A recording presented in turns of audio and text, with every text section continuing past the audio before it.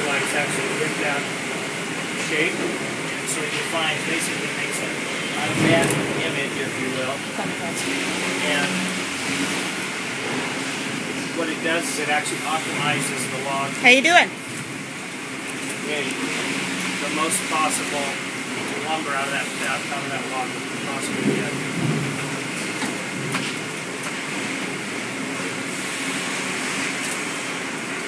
This is a new technology that we just put in a couple months, a few months ago. Um, you'll watch this yoke.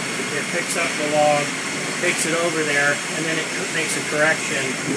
What we're trying to do is we're trying to keep all what we call the sweep or the curve of the log in the center cant. And the center cant is going to be a test at the end of the tour. If you look at this solution, you see a sideboard on the side, a couple sideboards, and then this stack of pieces here. That's what you call the center cant.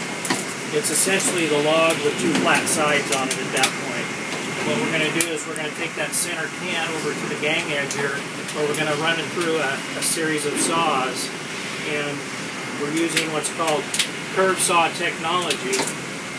So if you could picture this, if you ran a curved log through a saw, the saw would go in the log, out of the log, back in the log, as that piece went through those saws.